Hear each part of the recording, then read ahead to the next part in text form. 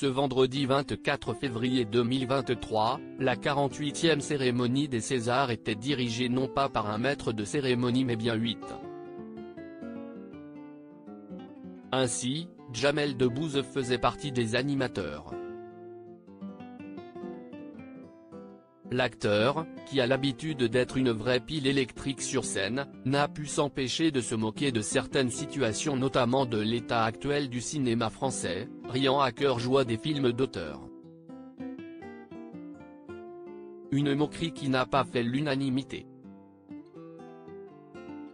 En effet, Juliette Binoche n'a pas hésité à se lever de son siège pour couper subitement l'humoriste, lui faisant non avec la main.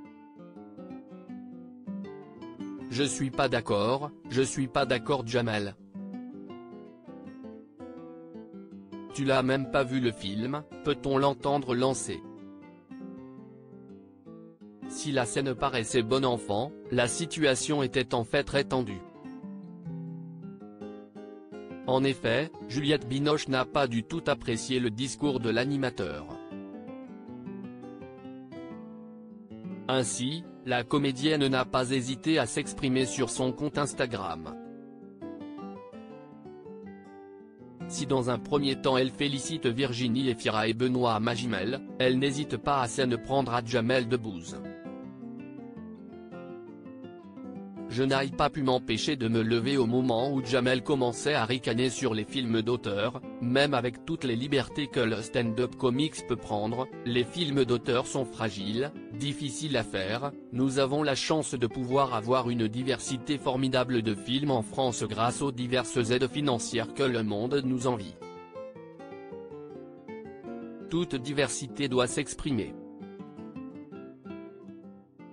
Juliette Binoche T'as de la chance que je ne sois pas la sœur de Will Smith très en colère, elle s'adresse directement à l'humoriste, non.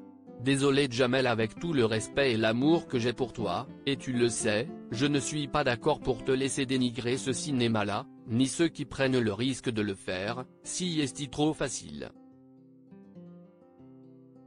Point, donc non pas de ricanement. De la tolérance, et un peu d'appréciation des différences ajoute Juliette Binoche. L'actrice lui lance alors un dernier pic, t'as de la chance que je ne sois pas la sœur de Will Smith.